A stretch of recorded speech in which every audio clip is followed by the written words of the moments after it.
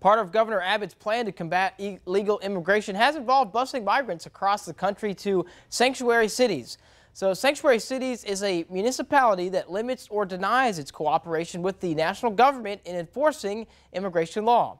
Texas has bused more than 9,700 migrants to our nation's capital since April of last year, over 7,900 migrants to New York City since August 5th, and then more than 2,300 migrants to Chicago since August 31st, and more than 1,500 migrants to Philadelphia since November of last year, and over 160 to Denver. Some have also been sent to Los Angeles.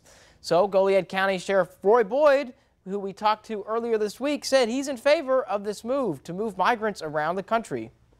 I think that the move by Governor Abbott to bus people to other, uh, you know, states such as New York was was genius because it was the one thing that finally brought to light the totality of what is going on with regards to the numbers.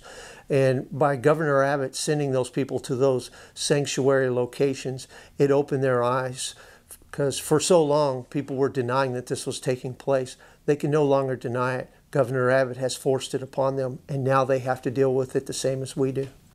Operation Lone Star's website says that it fills the gaps left by the Biden administration's refusal to secure the border and that every individual who is apprehended or arrested and every ounce of drugs seized would have otherwise made their way into communities across Texas and the nation due to open border policies.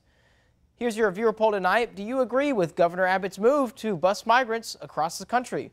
Looks like 74% say yes, you're in favor of that move, busing migrants to sanctuary cities, and 27% say no, you disagree with that move. Well, thank you all for voting, and as always, come to crossroadstoday.com slash vote to participate.